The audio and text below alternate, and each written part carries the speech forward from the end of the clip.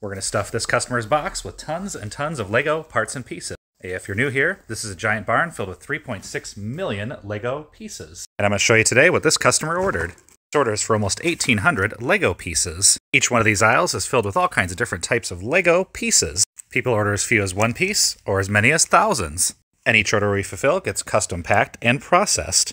Each part type gets its own individual baggie for the customer. And Lego pieces come in many shapes, sizes, and colors. And a lot of our LEGO orders are from repeat customers.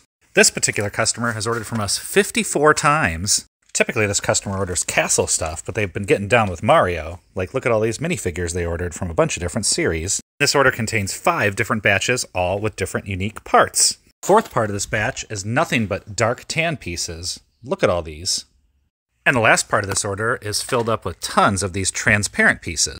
Or would you consider them translucent? Is it transparent, translucent? Leave a comment. It's kind of like Lego, Legos. I mean, does it really matter which way you pronounce it? It's like the same thing, right? But no matter what you call it, they make some really neat pieces in this color.